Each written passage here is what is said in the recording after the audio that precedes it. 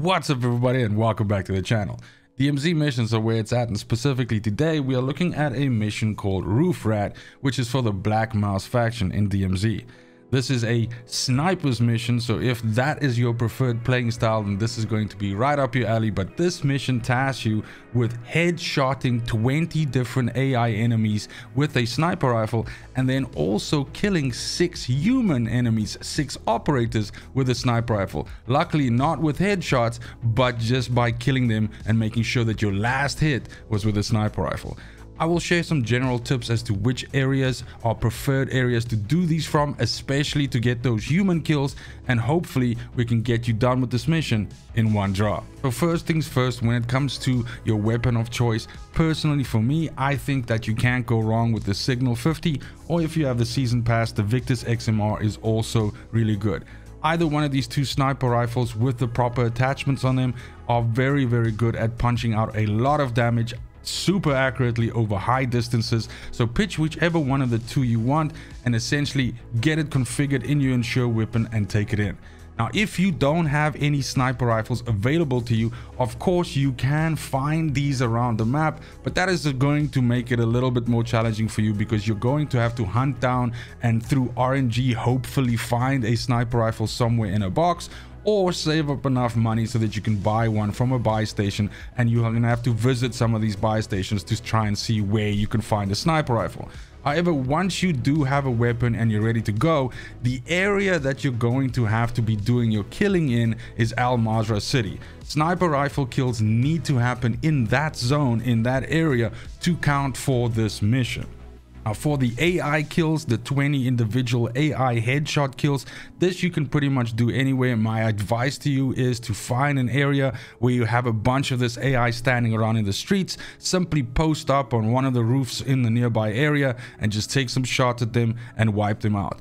The area in Al Mazrah City has lots and lots of little pockets of enemies clustered together under underpasses on corners of streets, essentially guarding boxes, guarding areas. So you'll be able to rustle up these 20 kills that you need to get with relative ease. Now, when it comes to the human kills, I have a specific area that I like to use for this, and it's kind of like to the south of Al Mazrah City, this construction area where you have these two silo towers that are under construction. Now, I prefer this area for several reasons. The first one being that sometimes you get the radioactive zone that spawns right, right north of it, right to the side of it. And essentially you will often have players that still come in there trying to kill the chemist and get the M13. This gives you a huge opportunity to snipe these players because they're already going to be weak from going into that area, from taking radiation damage, from having to fight the really, really tough enemies there.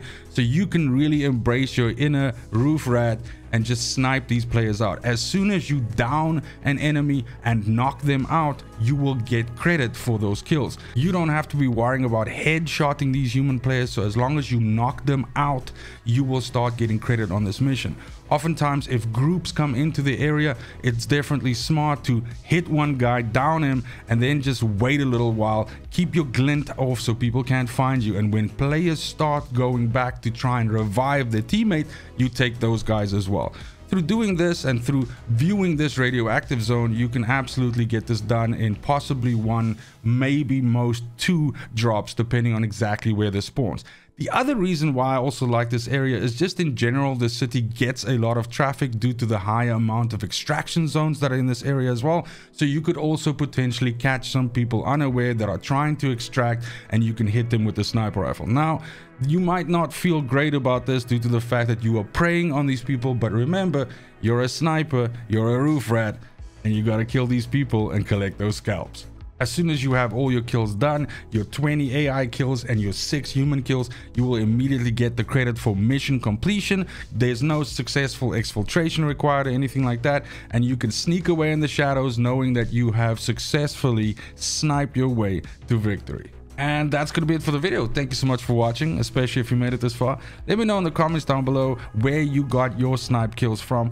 I really enjoyed this mission because it embraces a playing style that I really enjoy in DMZ. This is the first mission that really made me feel super, super awesome as a lone wolf solo in the DMZ due to the fact that you can essentially stalk enemy teams, stalk enemy players, get a snipe kill, get two snipe kills, and then disappear like mist before they can get their revenge on you. Other than that, it's just super important to me that you have a fantastic morning, afternoon, and evening wherever you are in the world. And until next video, fucking cheers. They want the best of me now, best of me now, best of me now, best of me. They want the best of me now, best of me now, best of me now, best of me.